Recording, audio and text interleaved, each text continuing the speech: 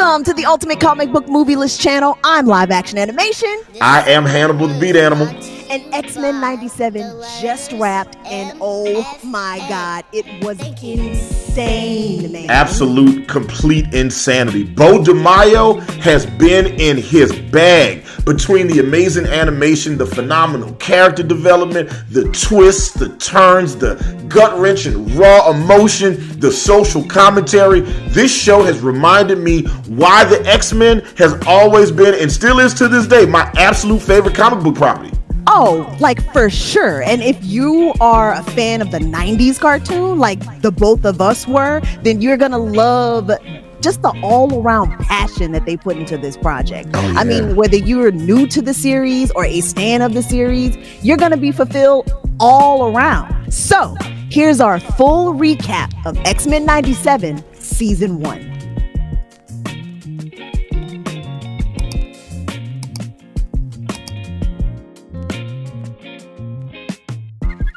We start our journey with a news broadcast talking about Professor X dying.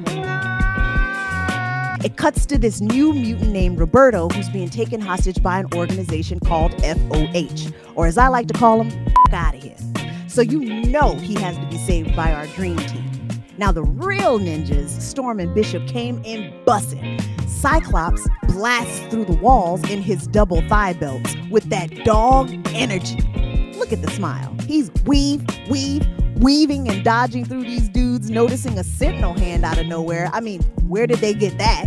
We get back to the X Mansion. Cyclops like, Rogue, Gambit, where was y'all at? Half Tank Gambit said, we was eating beignets like everyone else did and almost just die in combat. Cyclops and Jean talk to Dr. Cooper trying to figure out where these humans are getting all this Sentinel tech. The government says it's all gone. Cyclops like, hell no, these humans got guns like Robocop and the block is hot for us mutants. So they pull up on Henry Gyrich, who's doing life, but he was not about helping them. Talking about, y'all mutants, I hope y'all die slow, mother. Cyclops is like, bet, Jean, get his and Jean enters his mind through Cerebro. So now we in the desert and immediately get ambushed by sentinels. The bot ops destroy the X jet, but the X Men is like, whatever, half of us can fly. We do this. Cyclops has the coolest landing in cartoon history ever, and then they get to whooping that sentinel.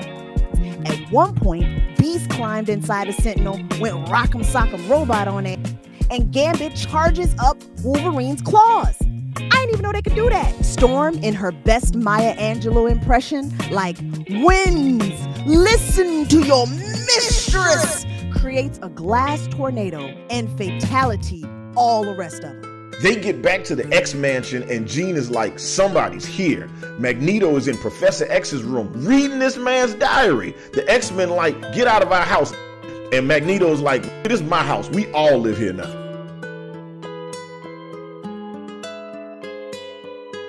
This episode opens with Magneto saving humans, and the news is dragging him, despite the fact that he's serving yas in purple. Back at the mansion, Wolverine and the others are discussing Professor X leaving everything to Magneto, and Beast quotes Mark Twain for whatever reason. Bishop says he's seen a lot of futures, but not one with Magneto leaving. Rogue thinks they should give him a second chance. Hmm, wonder why. Storm and Jean have a combo in her room about having the new baby. Jean is worried about raising the baby as a mutant and tells Storm she hopes her baby comes out white. I mean, human. Storm comforts her, saying she has had the same thoughts. I mean, it really is a beautiful conversation between besties. We see Rogue and Magneto talking for a while in his office. Magneto talks about Professor X and their relationships. Rogue and Magneto have this touching combo, but the real tea is the tension between them, so to speak. So Magneto says, Do you think your team will trust you if they knew? And Rogue is like, that was ages ago. Dr. Cooper comes to the mansion with troops to arrest Magneto. Magneto calls that bluff by using the helicopters. They came to put this man on trial for being, well, a, a super douche for a long time. Magneto could have sliced and diced their but he was like, okay. I'll see what y'all talking about. If y'all give me a fair one, I'll go to trial. It's more turned up than the OJ trial. The humans had hate signs, they riled up, they're yelling and screaming. If you don't like America, why don't you get out? During the trial, Magneto gives his best, we didn't land on Plymouth Rock speech. Meanwhile, Jean goes into labor, Wolverine drives her to the hospital, and the doctor's like, we don't deliver mutant babies. So Rogue got to steal his memories and deliver the baby herself.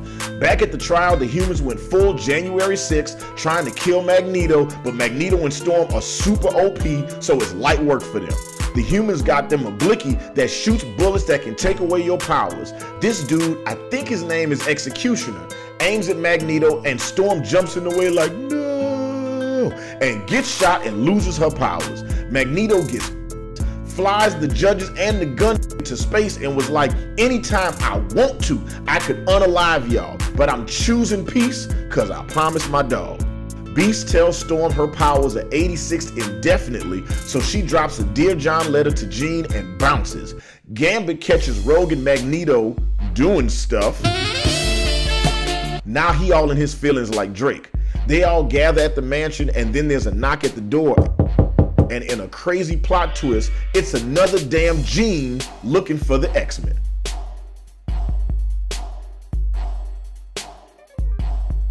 We kick things off still confused as hell as Beast does tests on new Jean while main Jean looks into her mind and sees nothing but blank faces.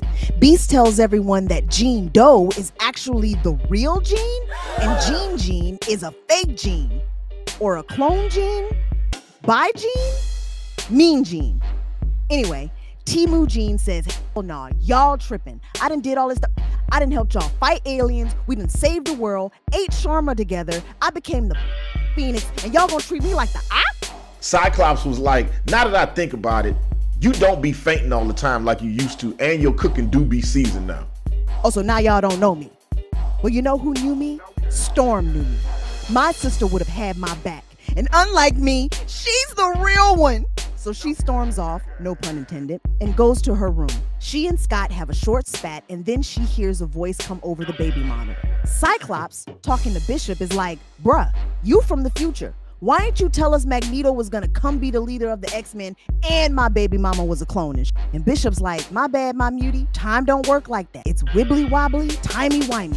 Then Beast out of nowhere is like, oh my stars and garters. I know who made Temu Jean. And can we take a minute and appreciate Beast saying, oh my stars and garters in a regular conversation? Beast realizes that Mr. Sinister is the one that cloned Jean. Sinister tells Temu Jean the truth about her origin and releases her power. Sinister hits fake Jean with that Darth Vader, I am your father. He hit her with that pimp talk, talking about bring that baby to me before I break out some talcum powder and turn into Will Smith at the Oscars. Morph teases Gambit about Rogue as they come out the danger room. He like, hey Gambit, you see Mags and Rogue got the danger room booked for the next 10 hours? You think she finna boss man powers? I mean, absorb his powers? Gambit was shook. Next thing you know, all the X-Men are seeing spooky. A poltergeist climbs out the TV on Sunspot and Jubes. Monster Baby Furniture starts attacking Bishop and Cyclops. Morph sees Sinister in the shower, and Gambit sees himself getting by Magneto. The floor turns to lava and now they're fighting flying demons. Cyclops goes pew pew pew. Then Bishop is like, hit me with the pew pew pew. Cyclops. Cyclops charging Bishop up was some gangster ass shit for real. I'm for an exorcism, punks. Pure G status. Real Jean wakes up and saves everybody, then passes right the back out. That's how you know she the OG Jean Grey. Then fake Jean shows up and is like, I am the Goblin Queen. I'm taking my baby up out of here. Morph tells everyone about Sinister, and Scott is the fuck off. I mean, rightfully so. He has had quite a day. Now, the craziest thing that happened in this episode was Sinister putting a live ass baby into a tank of goop, like with no breathing apparatus, and it was still alive. But I mean, cartoons and comic books, am I right? So the crew goes to battle with the Goblin Queen, and she is whooping they ass. Wolverine gets to the Rising to wake up Jean, and it works so well that here comes Cyclops blocking in his mind. So Jean uses her mind to confront Temu Jean and shows her that she's in fact the clone because she takes her through the mental Olympics. they go on this trip down memory lane and they don't remember how or when or where they were even switched. But the one thing they do know and remember is Nathan. Now that Temu Jean switched from heel to babyface, Let's go save Nathan. Cyclops and his baby mama go full on Dudley boys on Mr. Sinister. Beat him so bad he retreated while doing poetry. Ladybird, ladybird, fly away. Mom and dad overcoming the odds to save their baby from the craziness of this world. But Mr. Sinister infected the baby Nathan with the techno chickenpox, so Scott and Temu Jean have to make the tough decision to send him back to the future with Bishop. Definitely got to be the first time some white folks gave a black man their kid to raise. Scott, of course, wanting to be a good dad. Finally, a man wanting to be a good dad, and he has to send his baby to the future. So Jean mentally transfers a beautiful tearjerker of a message to Nathan, and off he goes. After that, Temu Jean, who now wants to be referred to as Madeline Pryor, decides to leave and create her own future, and we are left with Scott and Jean, face to face, with no clue of theirs. Meanwhile, Storm is in Dallas, and Forge is like, Stella, I'm gonna help you get your groove back.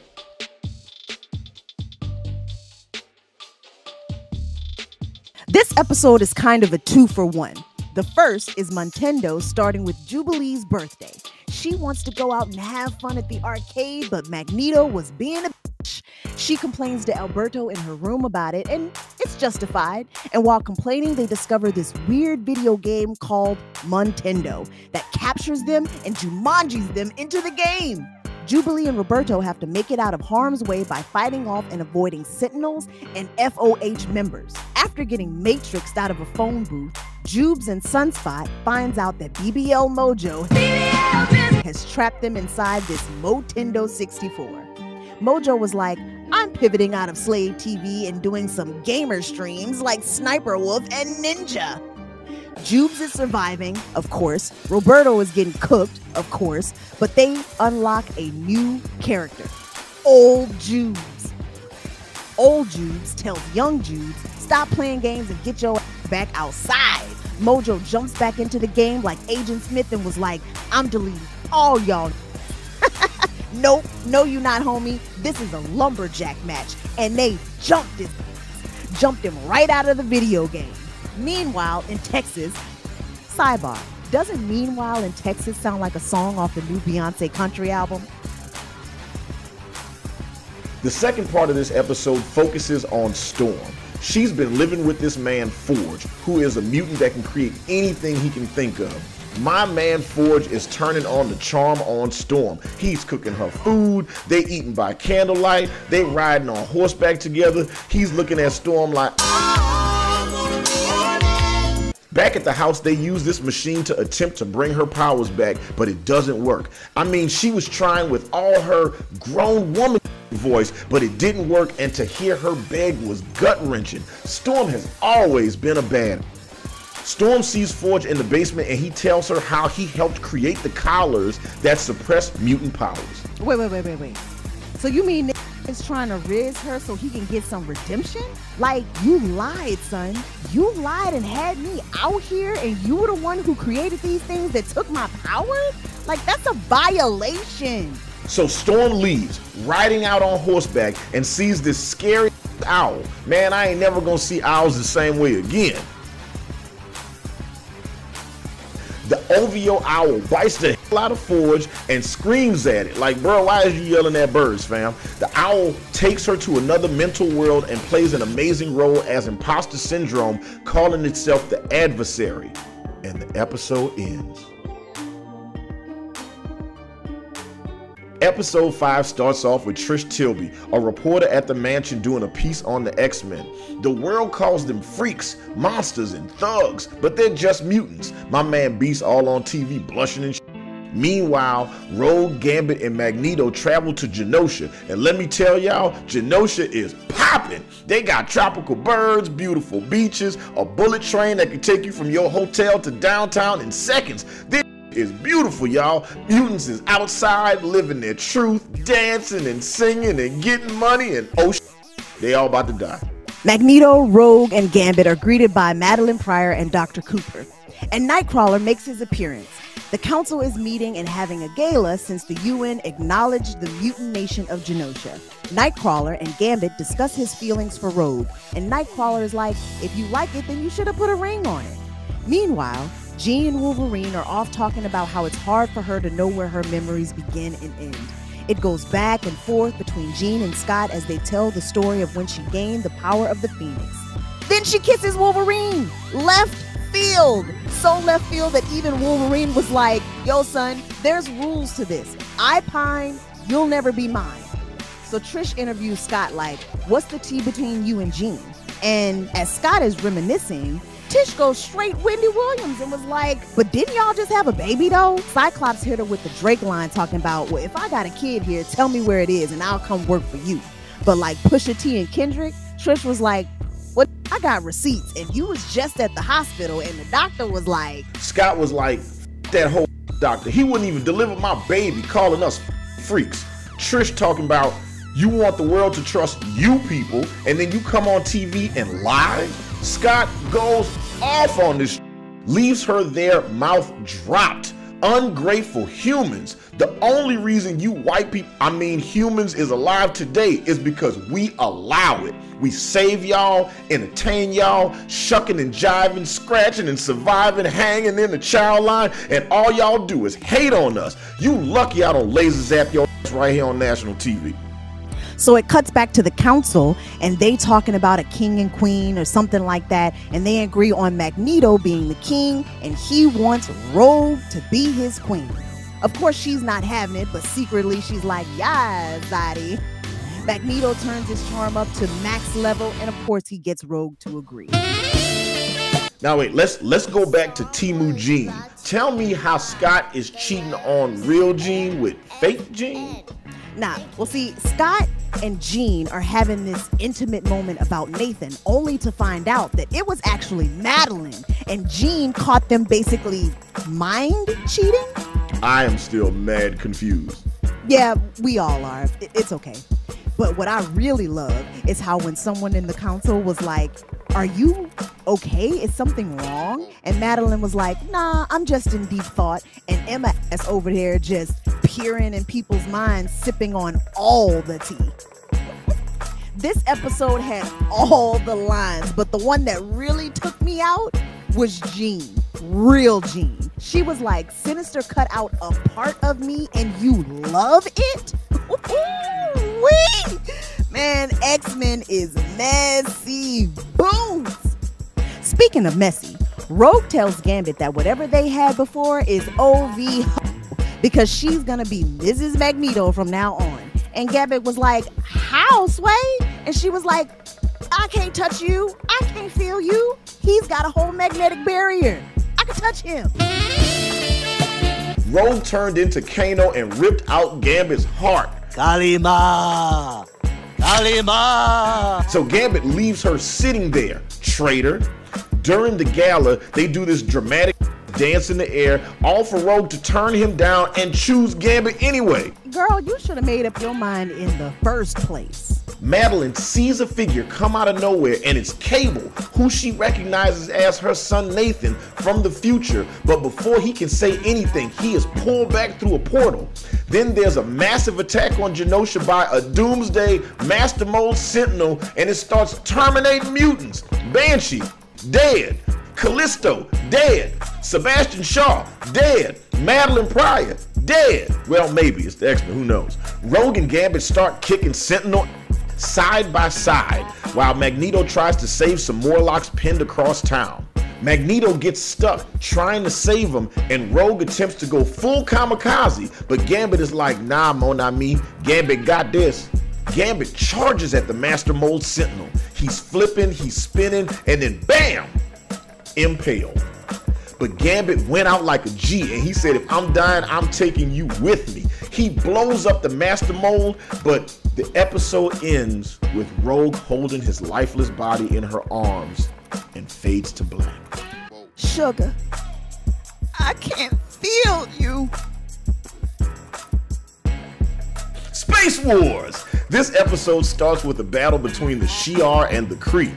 Deathbird flies into a Kree vessel and the Kree is yelling, Get down! Hands up! Deathbird is like, Nah, how about y'all just die? Ronan the Destroyer says, I know this pigeon not talking no bird to us. Then, bam! The Imperial Guard shows up screaming, Gang, gang. Look, it's the fake Avengers. The Imperial Guard slid on the Kree. Ronan says, We Kree never surrender. We Kree never give up. We Kree never smash. Gladiator punches out his. You got knocked the.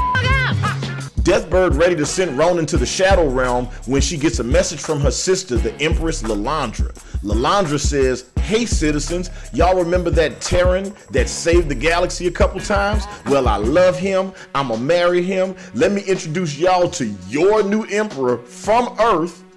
And this man is none other than this Professor X. We watching this at home, shook that Charles is still alive. But look at the Shi'ar faces. Them folks is more shook than us. Charles has basically been here since his attack. Lalandra saved him, nursed him back to health, and gave this uh, dope mech suit to help him walk. Charles says, You think me screaming, make the Shi'ar great again, got them looking past the fact I'm a human? Charles wants to go back to Earth to see the X-Men, but Lalandra is like, Charles, you know your family mess is. He talks about wanting to see his children again, but like, don't you got telepathic powers? Can't you just think them there? Anyway, let's get back to Storm. She's trying to nurse Forge back to health, and this adversary comes in with her petty party. The OVO owl is talking spicy to her, saying, Let Forge die. The X Men ain't. It. That white mohawk not really working for your skin complexion anyway. Here come this dude Forge with a book of spells and casts the owl out of the desert. So, like, you always had this ability and you chose to just yell at the thing the first time? I mean, how, Sway? Back on Chandelar.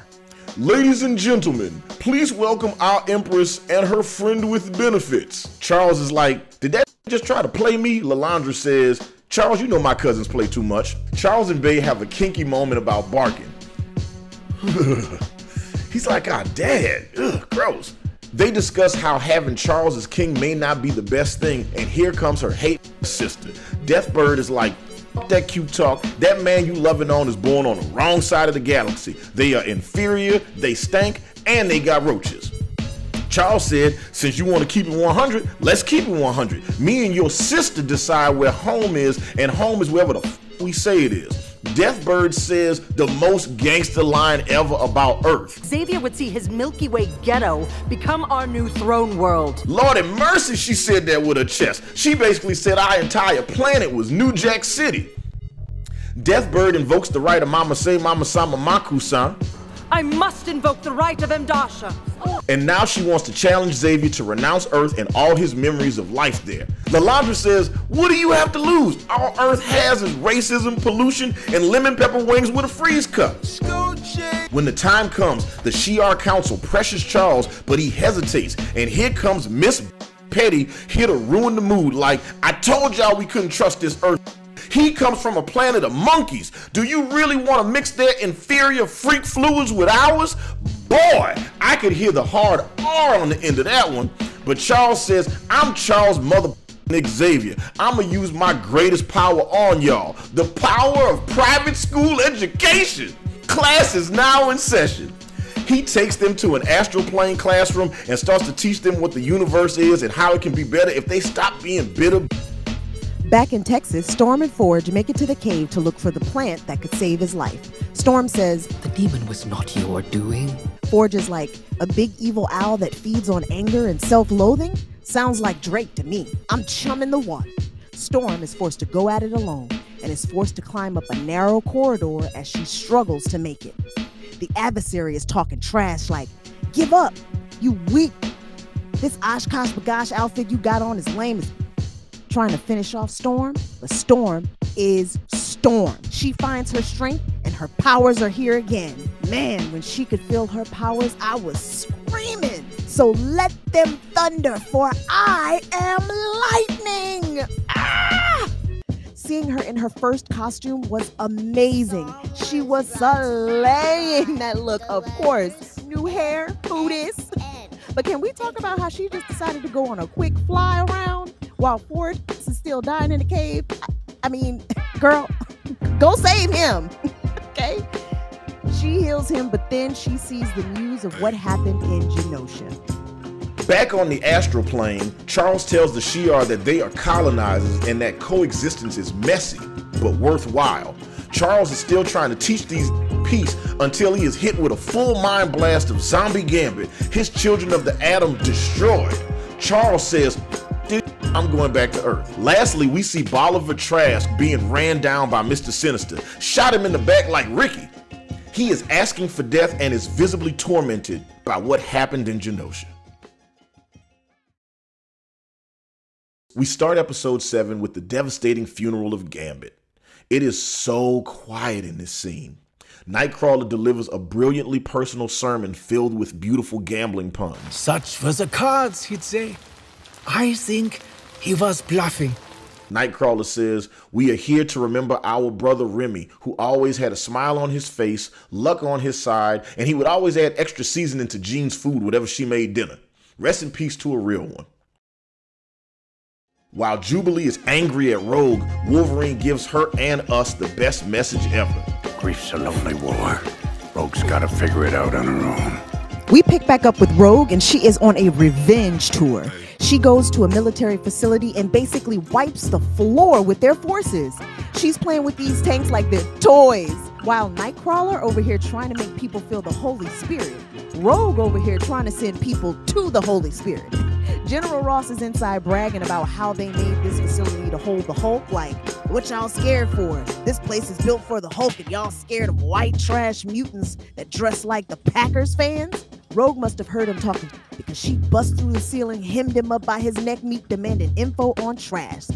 Back at the X Mansion, Scott talks to the UN and they are ready to quit looking for survivors in Genosha. President Kelly says, We can't give you people any help because we got plenty of thoughts and pre- what? Calling them you people? Scott was like, Didn't you see my interview? Talk to the watch because my face ain't listening. Rogue goes up north and is stopped by Captain America. She wants information and he takes her into this underground facility similar to the one that he and Black Widow went to in Winter Soldier. So Rogue was like, You gonna help me? Cap was like, Nah, HR has already given me two strikes, one for being tardy and one for eating Rhodey's McRib back in the break room fridge. So if I get one more, Nick Fury's gonna fire me. Rogue says, Well, if you can't help, then you don't need this. And yeeted that man's shield into another MCU property. She threw it so far, it landed the actual Winter Soldier movie. It was amazing. She chucked that shield into another dimension. He may actually still be looking for it. Rogue finds Gyrich, but he isn't playing ball with her. Gyrich says, I'm not a snitch. No Takashi, I'll never talk. She sucks him dry of his life force and gets a vision of Nimrod and someone else. Spoilers! In Genosha, Jean and Scott help clean up and find survivors. Jean is able to see the visions and feelings of everyone who died in Genosha and the rats we saw in Madeline's visions a couple of episodes back. They have an intimate conversation, then Jean is like, There's another psychic under there. Scott immediately abandons Jean, thinking it was Madeline. Oh, I know she felt a way about that. But it's Emma Frost. She was protected by a diamond transmutation that developed while in stress. They get a message from Trask, who tells them how Sinister used him to destroy Genosha and asks them to come to his lab to see what they have been doing in Madripoor. Morph is like, Y'all know we can't trust this, right? Roberto finally comes out of the closet and tells his mom that he's a mutant. She's like, we been knew that. We knew you were a mutant after you burned down our second mansion. His mother seems okay with it, but then explains how they need to keep him secret due to them being a well known family. Cut to Gyrich, alive on life support. He says to an unknown figure, We sure got those filthy muties. You were right all along, person who is slightly off screen.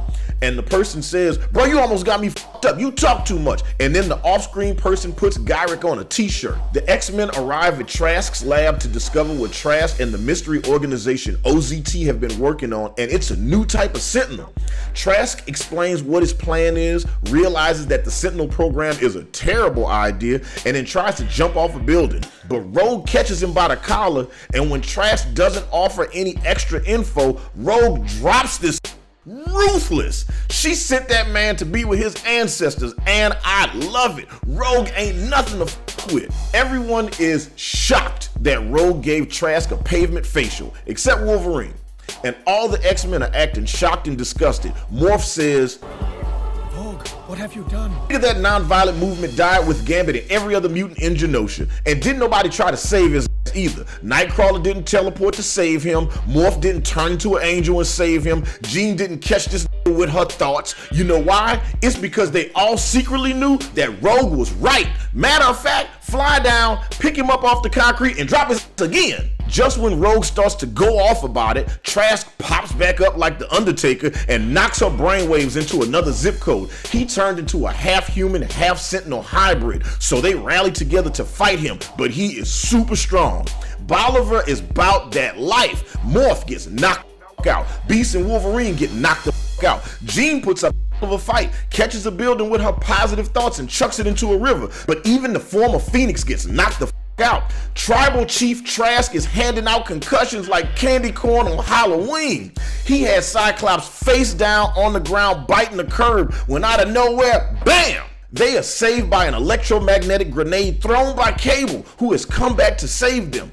Jean accidentally reads his mind and realizes just who he is as Scott looks into his eyes.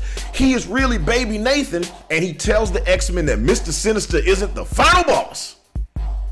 We end the episode with Sinister and the Purple Dude talking about how their plan is going. The Purple Man goes into a building, and in the back room, big reveal Magneto is still alive and is captive by the Purple Man.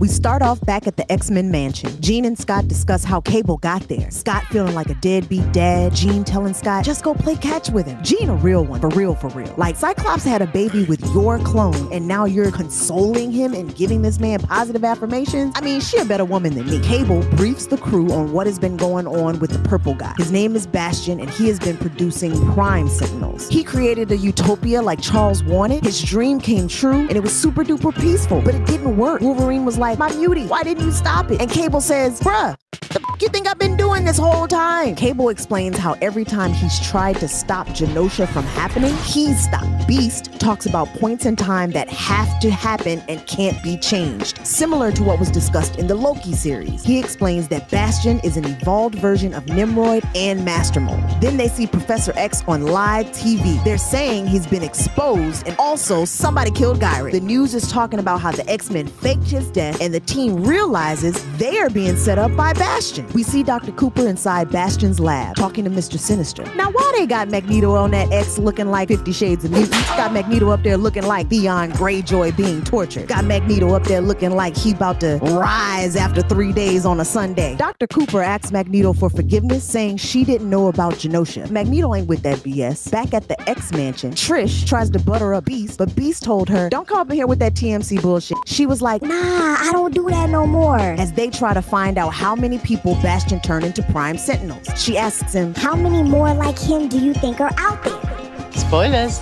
Meanwhile, in Harmony, Pennsylvania, Jean Scott and Cable walk into what is clearly a haunted house, realizing they're in Bastion's childhood home. They find his mother, and as she goes to leave with them, Bastion's plan comes into play. Back at Sinister's lab, Bastion talks to Doctor Doom and the League of Bad Guys about his plan. Doctor Doom is like, Hey fam, this is not what I agreed to when I joined this evil operation. I thought we was just gonna harass the Fantastic Four. Baron Zemo says, The X-Men got President Kelly on their side, Crody. Bastion says, I got all that shit handled on God. Genosha's not genocide.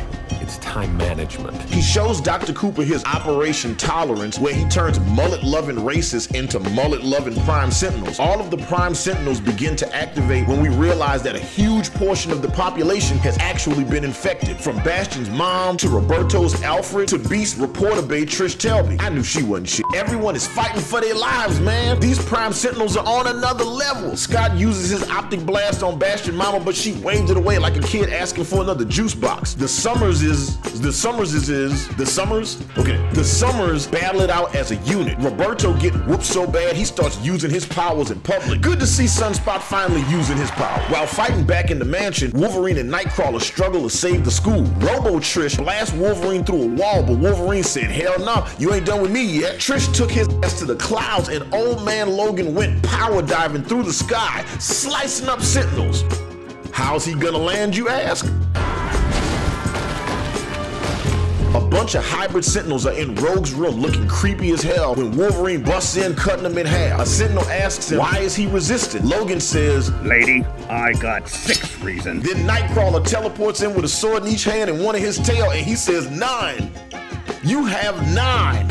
That's a high bar. They have one of the best fight scenes in the series. We'll call it the take of nine knives. Wolves and Blue Chew tear them robots to pieces. Kurt start teleporting them out of Rogue's room, and as the last one is getting diced like baby tomatoes, Wolverine gets teleported too. Back in the X-Jet, Team Summers is fleeing, but there are way too many primes on that As the robots destroy another X-Jet, Cyclops goes full Dominic Toretto and drives a Porsche out of an exploding plane. Jean Tokyo drifting while Cable is busting out the brand new sunroof. And they stuck the superhero landing.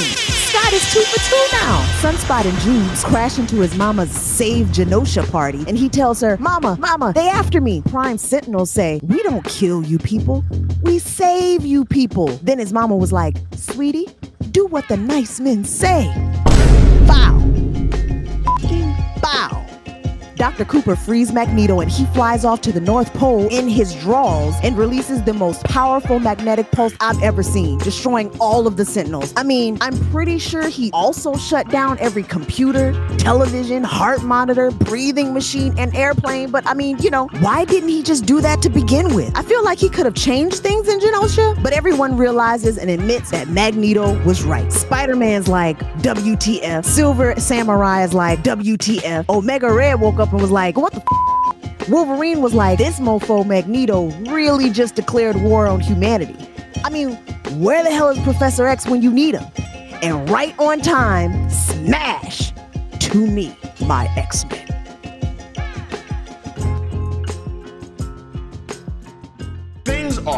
All bad. Magneto just waged war on humanity. Charles can't walk no more. Jubilee and Roberto are getting chased by racists. Then Storm and Forge appear out of nowhere and send that crowd running like the New York Marathon. Jubilee grabs Storm, crying like, "Thank God you're back. Ever since you've been gone, they only order mild chicken from Popeyes." Bastion cradling his mom in his hands, crying like, "Why are you crying? You did this." Bastion is crying over his mama body while the whole town is doing the mannequin challenge. Cyclops and Charles talk about why he gave Magneto the school, and Charles explains that he wanted to give Scott and Jean an opportunity to go off and finally leave the school. Something that he maybe should have talked to them about first. The only thing Cyclops wants to know is why the f did you put Magneto in charge? Not where have you been? Why didn't you send us a letter? Is your middle name really Francis? Instead, he's asking why you didn't pick me as the leader. Charles tries to dap him off, no diddy, and Scott was like, we ain't cool yet. Rogue wakes up and Nightcrawler fills her in on what's happened since she got ultra comboed. Storm arrives back at the mansion and she and Jean have a moment. Jean is like, I see you got more than just your powers back. Who's your little friend? They regroup and try to figure out a plan to fix things. Professor X comes in to offer peace, and at this point, I'm like, Charles, you need to dead that shit because it ain't working. Wolverine says Magneto has declared war and the day only ends with him dead. Die slow, motherfucker. Charles is like, don't blame him, blame me. What do we do? We all do. We all blame you for putting that motherfucker in charge. Two teams are formed in order to take on Bastion and Magneto. The professor tells them about Bastion's connection with the Sentinels and says years ago he went to talk to his mama about him coming to the school. Whoa, whoa, whoa. Wait, you mean you knew this nigga Bastion was out here existing? Why didn't we get ahead of this years ago? Another fail for Xavier. Beast and Forge are trying to come up with a way to neutralize the Sentinel while Rogue and Charles talk by the pond. Charles is trying to apologize and Rogue snapped on him. Damn. Another fail for Xavier. Then Magneto comes out of the sky with like a whole island or something. Charles says we need to resolve our issues with humanity peacefully. Magneto says I watched Leech die in front of me. F peace, your vision, and matter of fact, you died, so all of this is mine anyway. I'm evicting you out of my house, mutie. Speaking of house muties, you a house mutie. Always chasing behind your human masters to see how they feel about shit. I'm a field mutie, and them masters you serve can die slow. Die slow, motherfucker. Magneto is the embodiment of I ain't a killer, but don't push me. If fuck around and find out was a mutant, Magneto is ready to stand on business. Meanwhile, Charles can't even stand. And you know what? I can't stand how Charles be so ride or die for humanity. Can my failure be so complete? They go back and forth, but ultimately, Magneto offers for some of the X Men to be on his side, with Rogue and Roberto agreeing. They go with him as one of them saw the events of Genosha firsthand, and the other had his mom just hand him over to the ops. Rogue hands them a verbal beating, just reminding them of what we all are thinking. We could have all died. Like, did we just forget about Gambit? Y'all tripping. Cyclops and Cable have a great pop and sun moment, and everyone suits up. They look so good in all their original costumes. Charles talking to the president about not pissing off Magneto. Charles is like, let me talk to him, let me talk to him. President Kelly like, ain't you the nigga that put him in charge? Boom, another L for Charles. The battle is on as Bastion unleashes all of his Sentinels on Storm's team. Morph turning into the Hulk and just smashing those Sentinels was amazing to watch. Beast smacked a Sentinel with his own hand. It was brilliant. Jean took the fight straight to Sinister, and it was good to see her getting back in the thick of things. Sinister runs up on Jean. She starts throwing mental boomerangs at him, but he hits her with that Sora dash from Kingdom Hearts. She punches Sinister in the belly button and then starts throwing bowling balls and jukeboxes at him. Meanwhile, Cyclops' team finds Magneto and goes to take him down. The battle is intense. Jubilee is taking it to Roberto. Nightcrawler is able to hold off Magneto's attacks. Charles is talking like always, but Magneto puts a metal piece over his mouth and shuts him up. Charles said what might be the corniest line to date.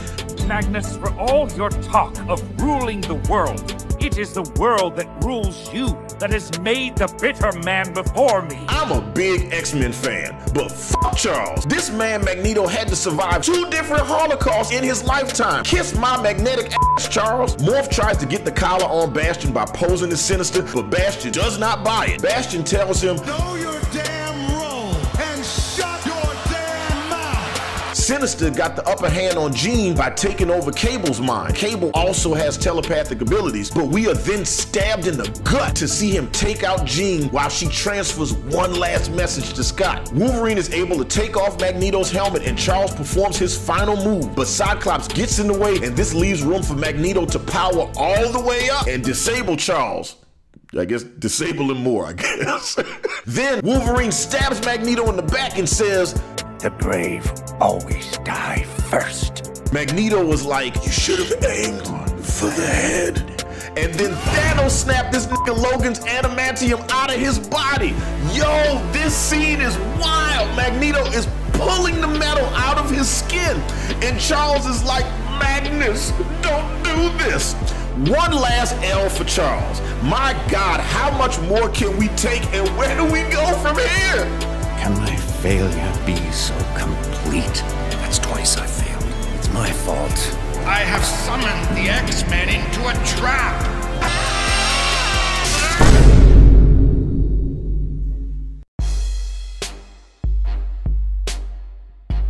The season finale begins in a bar in a town that is at war. This seems like Charles and Magneto's first encounters with each other. They discuss how to make the world woke again. Charles is still very pro-peace, while Magneto is still against outing himself as a mutant. Young Magneto starts hearing echoes of Rogue's voice and suddenly realizes that Charles has Freddy Kruegered his mind to get him to help. Magneto says, why are you always rushing to defend our genetic inferiors? Let me just go ahead and destroy Earth. But Charles says, the Earth is where all my stuff is at. We cut to the X-Men on Asteroid M and Xavier takes over Magneto's mind to restore the planet's magnetic field. Afterwards, his task is to help Magneto regain his humanity. We see Silver Samurai chilling, watching the holy shit. We see Iron Man in his original costume. And look, Captain America finally found his shield. Took him like, what, three episodes? Daredevil is on the mean streets of Hell's Kitchen tripping up looters, and Doctor Strange using Kamar-Taj magic to do surgery. Val Cooper is yanked up watching an army of primes march to glory. Meanwhile, Glow Up Bastion got the X-Men hemmed up and is not trying to hear that humanity cue cold ass line. Did you just try to appeal to my humanity? Look at me. Brought a shutter down my back. Scary as hell. Bastion goes full on Skynet and says that in order to protect humanity, he must protect humanity from humanity. Then Oh, Iron Man and Captain America get attacked in the Oval Office. Black Panther, Okoye, and Adora Milaje on Wakanda giving us supreme we wish a nigga would energy. back. Back to Daredevil getting jumped by Prime. Guess he couldn't see that coming. Which one of y'all kicked me? Oh, Is that Cloak and Dagger, Marvel's interracial superhero couple? Omega Red is back fighting Primes, and now he's got Crimson Dynamo and Darkstar with him. A bunch of Primes pulled up on Psylocke and Alpha Flight. They put the whole MCU in this episode. Is that everyone? Bastion starts digging into Cable and wants to know how many times he went back in time to watch his mama die. Cable says, 200 times. This man was fighting back tears, and so was I. Lord have mercy, Jesus. I don't know if I would have been able to stomach seeing my family and everybody I love die over 200 times. Bastion backstabs Sinister. He's whining like a baby. And then here comes the freaking Phoenix. I am Phoenix. She manhandles Bastion and puts the collar around his head to free the primes from his control. But like, people fell out of the sky. I'm I, I'm pretty sure they're dead. Then Phoenix Jean turns Sinister into a shriveled up peanut. Sucked that man DNA right out of his body and turned him into Mr. Burn, looking like Baraka from Mortal Kombat. Then Jean passes right the back out. Well, not all the way, but it's still classic Jean feigning. Bastion explodes out of the rubble and rips Cable's arm right off of him and then beats him with it. Why are you hitting yourself? Why are you hitting yourself? He uses it to cover himself in armor and heads straight to Charles and the others to hurl Asteroid M down to Earth. Bastion said, Everybody's gotta die now. On Asteroid M, Rogue is tending to Charles and Magneto while Cyclops and Nightcrawler tend to Wolverine. He's alive and healing. Charles tries to help Magneto regain his humanity so they can help stop Bastion, but Magneto has lost his memory temporarily. Jean makes a psychic phone call to Cyclops, and then Professor Xavier conference calls in with the both of them and says that he has to repair Magneto's mind. In order to save the world, we must not lose him. Jean says Bastion is the future incarnate, so the space team braces themselves. Roberto says that he's most definitely cooked, and he's okay with that. Rogue quotes their guardian angel, Gambit. Odds may be bad, but the cards are always in the X-Men's favor. As Bastion approaches, Rogue is ready, and she's got all the amazing lines for the finale, baby. Definitely getting her lick back. Punched him from the window to the wall. Rogue must have been trying to make juice because she beat Bastion to a pulp. Wait, can she breathe in space? Bastion heals and gets the jump on Rogue. Here comes Sunspot in for the save with a line for himself. The name Sunspot definitely got more flair. I love that. Back to these races as humans. Of course, they're trying to kill everybody by initiating the Magneto Protocol. Black Panther was like, This is most certainly not a good idea, my guy. And Captain America is like, This black man is right. Maybe somebody should listen to it. But of course, they don't. And how does that turn out for them? Back at the War of Minds, Charles is struggling to help Magneto overcome his pain. And I mean, let's be real, that it would absolutely take more than five minutes to recover, my guy. I mean, mutant or not. Bastion carries the chaos onto the ship, and Nightcrawler and Jubilee take the fight to him. That's why I love the X-Men. They don't believe in one-on-one fights. Cyclops jumps in and he and Bastion go toe-to-toe in optical combat, while Scott saying, You'll never hurt my family again! But Bastion is able to come back with four tentacle blasters. Jubilee makes the save for Cyclops and Bastion tries to play the shit out of her. What will you do, child? Slay me with the 4th of July? Jubes is like, pull my beer, bitch, and blow this face off. A sentinel bursts through the ceiling and is beasting the others inside. Cyclops tries to reason with Bastion, but he is not hearing it. And here comes the missiles from the dumb humans blowing up the asteroid. Jean wraps everyone in a mental shield and Bastion decides to jump to his death. So I guess the humans did something right. Sunspot catches Jubilee as she falls out of the asteroid and brings her to safety. But um, can she breathe in space too? Can all the mutants breathe in space? Tell me how I'm supposed to no air. If they don't stop the asteroid, it'll destroy Earth. So Cyclops says that he can try and stop it with his optic blast, which will kill him, and he accepts his fate. He and Jean go to see Cable to say their goodbyes, showing his son his eyes for the first and last time. I mean, if your eyes were dry during that scene, you are a monster. You have no heart. Scott is forced to say goodbye to his son again after only a short time with him. Back on Earth, the news relays that if the asteroid hits, everybody is gonna die. Bet y'all feeling different about sending missiles up there now, huh? Morph gives Wolverine some encouragement as Jean. I love you, Logan. Stay with me. They don't have enough power or momentum to stop. As hard as they try, they won't give up. Nightcrawler prays over Charles and Magneto, and Professor X pushes the limit to help him remember. Professor X says, You are family.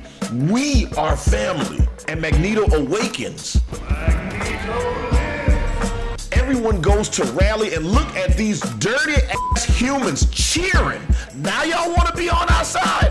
As they ascend, the core explodes and everyone disappears. Six months later, Forge is surprised by Bishop. Nigga, where you been? Why black people always late? Bishop on CP time tells Forge. Luckily, this ain't our first time the X-Men are dead.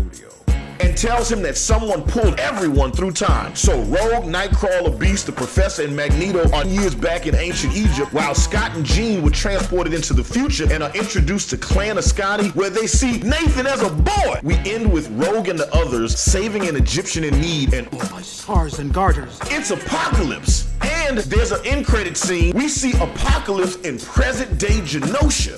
So much pain, my children. So much death.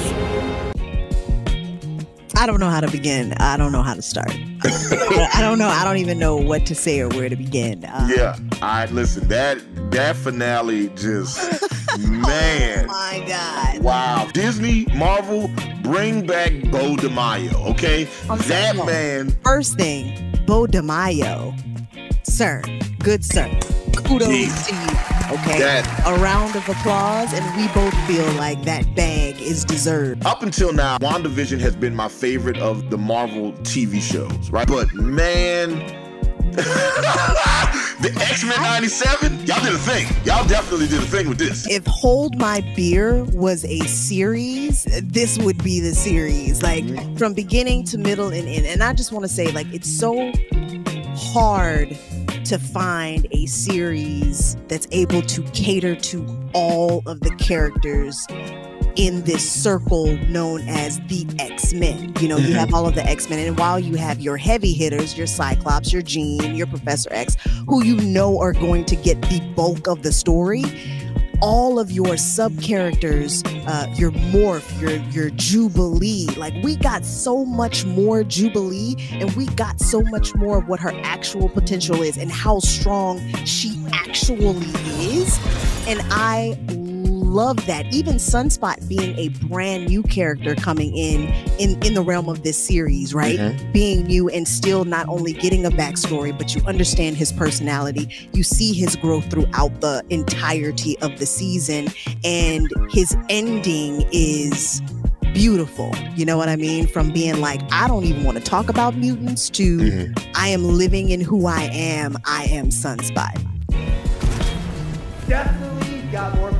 The way everybody's story and character development was able to take place over a series of 10 30 minute 10 episodes 30 minute episodes. Do you know how hard it is to make a complete whole story in Mhm. 10 episodes? That's insane. we got a chance to meet and, and understand so many of these characters like you you know who professor x is and what his motivations are you understand who magneto is and what his motivations are you understand bastion you understand rogue you understand nightcrawler gambit jean grey even madelyne pryor right we Fire. Bastion is a great villain, top to bottom, front to back. I love how he was created, how he was born. His hate for mutants was literally written into who he was as a person. He couldn't help himself from hating people. And it speaks a lot to the symbolism of children being indoctrinated to hate. I also love the visual aesthetic of the show. It looks like a Saturday morning cartoon, but but it's animated like anime in the Genosha attack when Master Mold starts attacking Genosha and it does those very hard fast cuts Even looking at that power kick that Rogue does in Yes. North, it's very reminiscent of her character in your Marvel vs. Capcom video games and stuff. Yes. Uh-huh. Yeah, and, and I love that they included those details because like they did it for her. They did it with Wolverine uh, when he was uh, fighting in the sky. They also did it in the last episode. They did it with Cyclops where he was like, "Don't talk about my family," and then he just and he does the the mega optic blast right from Marvel vs. Capcom. One of the things that I loved about this the show was how it created like what felt like permanent stakes, right? Like Yeah. when, like when Gambit dies. Um, we all feel that from the opening moments of the first episode. We see him pining for Rogue, wanting to be with Rogue, flirting with Rogue, talking to Rogue. It's heartbroken, and, and, and you know by episode two that it's just like she's not interested. You know what I mean? Like yeah. And for him to like sacrifice himself. So it's like when episode five happens and he dies, we feel it because we've spent episodes building up to this. Mm-hmm. Even the characters that you perceive have died, like when Cable gets the telekinetic blast on Jean, and we're like, oh my God, she projects this message to Scott, like I love you. You know what I mean? Like, did we lose Jean? Like we just lost Gambit. We we just lost Jean too, and then you turn right back around and you have the Wolverine scene, and you're like, it's just from from episode one. It starts off and it's literally like tap to tap to tap It's kind of like the heartbeat as it accelerates. So every episode is your heartbeat accelerating Mhm. all the way to the brink of episode 10. And that pacing is exceptional. I also love that they use as many of the original voice actors from the original show. They all had to re audition for their roles, right? So Really? Okay. Yes, all of them had to re audition for their voice acting roles. So it wasn't just, they didn't just go back and grab everybody because the original Jubilee voice, she didn't voice Jubilee this round. Someone else did. But she did voice old Jubes. Who's the voice actor that plays Storm?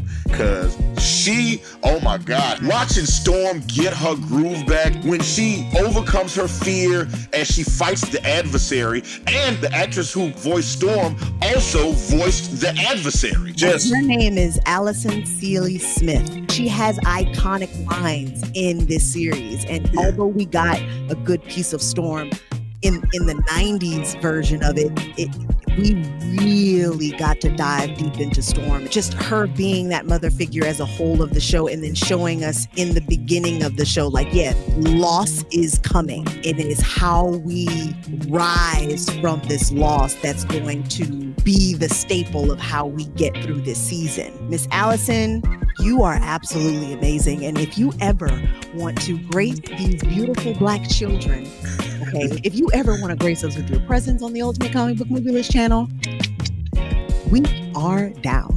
man, Beau DeMayo uh, as the showrunner. I can't imagine what this show would have been like if somebody else had run this. you know and you can tell he he was very strategic in how he wanted this show to work i feel like oftentimes even in wrestling you pick how you want the story to end right and then you work your way back That is a brilliant way and I, I don't know that he did this particularly but it seems kind of like he knew where he wanted to go Mhm. and then the meticulousness of trying to get there to be able to again in 10 episodes Mm-hmm. weave such an immaculate story that has a clear beginning Mhm. middle and end while still giving you a cliffhanger. Like Mhm. even if they don't come back with another season that's a whole show. Word on the street is that they've already ordered more seasons or they would like to order more seasons. So if that's the case you only have two seasons that Beau DeMayo has already because he already had season two under his belt or you know plotted out or anything like that so after that what are you going to do I know when we grade the movies, we use an A to F grading scale, A plus to F minus, right? So I'm curious, if you were grading this show, what grade would you give it after watching the finale? If you could grade it the same way, for me a plus A plus, same, same, A plus TV show. plus plus a plus you may have to start a tv list Yeah, yeah. way to go marvel they were like just bear with us if you give us a little little time we're gonna pump out some some brilliance just you know Yeah. take the ride man take yeah. the ride For anybody who said that the Marvel Cinematic Universe, that the MCU was dead, X Men 97 was like, hold my beer. Because this show, I can't believe that this whole phenomena is over for now. We have to wait for season two. Hopefully, we get a little bit of news as to when season two will be dropped. But let us know in the comments below. How did you like X Men 97? Did you enjoy it? Did you hate it? Are you still processing like we are? yeah. did, did, did you have a favorite episode or a favorite fight scene? Who's your favorite character? What villain did you want to see more of? Let us know all that in the comments. Let's have a conversation about the greatness of X Men 97. yes. Until next time, Take care of yourself. This has been amazing. We will see y'all next time. Bye.